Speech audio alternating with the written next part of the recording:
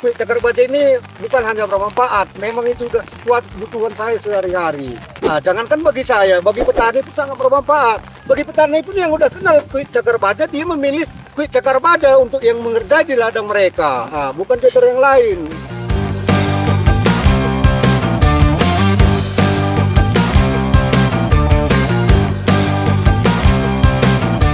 Terus daya tahannya pun oke. Begitu dari seal. Seal pun daya tahannya oke. Mesin oke. Bahkan dua-dua cetor cakar baja kita satu. Anak saya yang SMP yang, yang bawa satu. Menurut aku tidak ada lagi yang perlu diragukan. Kalau memang saya udah ragu ngapain saya beli dua.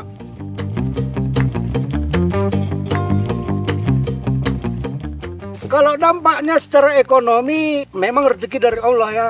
Tapi selama memakai kulit cakar baja itu sangat meningkat. Kenapa aku bilang sangat meningkat? Karena seperti itu tadi, aku setengah hari aja kerja, insya Allah bisa aku dapat 400 ke 500 ribu, paling dikit 300 ribu, paling sedikit 100 ribu per jam.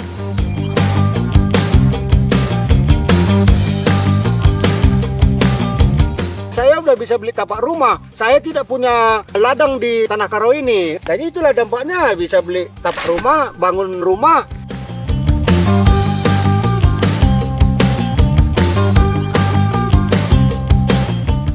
Makanya, kusarankan sama teman-teman, jangan lagi ragu-ragu dengan quick cakar baja. Memang cakar baja bagi saya itu nomor satu. Sebab cakar baja memenuhi kebutuhan dalam rumah tangga saya. Mulai dari anak sekolah, makan, dan pokoknya kebutuhan rumah tangga saya hanya dari quick cakar baja yang saya harapkan. Tidak ada yang lain.